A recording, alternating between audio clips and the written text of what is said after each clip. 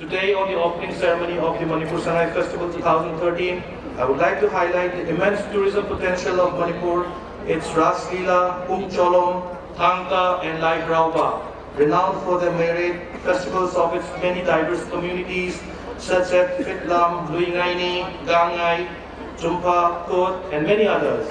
Manipur is also famous for polo, which originated here. Tourism in Manipur is now a rapidly developing sphere of human activity, reflecting the changing economic and social conditions.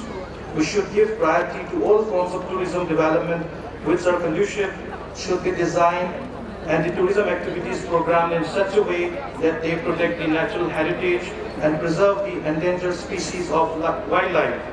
The Department of Tourism, Government of Manipur is making a continuous effort to make tourism a vibrant sector for generating employment and for showcasing the state as a prime tourist destination. Infrastructure development of adventure tourism complex has also been taken up by the tourism department. To utilize this infrastructure optimally, our government is considering leasing out these facilities under public-private partnership with a view to make this functional and tourist worthy.